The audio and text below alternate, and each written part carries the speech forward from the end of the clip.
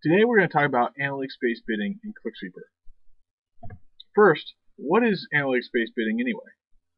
Well, it takes the last 60 days of time on site and bounce rate data, as well as analytics conversions, adds its own special ClickSweeper magic, and then tiers them into five tiers. Tier 1 being the best, Tier 5 being the worst.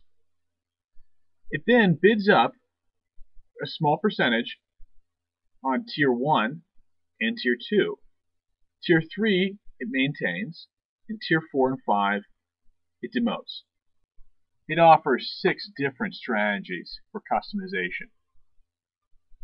It also offers a bounce rate filter and time on site filter so that you can kill the keywords that aren't performing for you.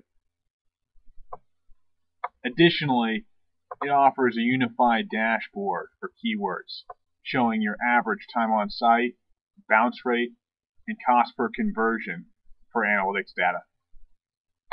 Shows the whole 60 day history, sortable, perfectable, easily customizable. Analytics bidding is the newest thing that you should have in your arsenal. Give us a call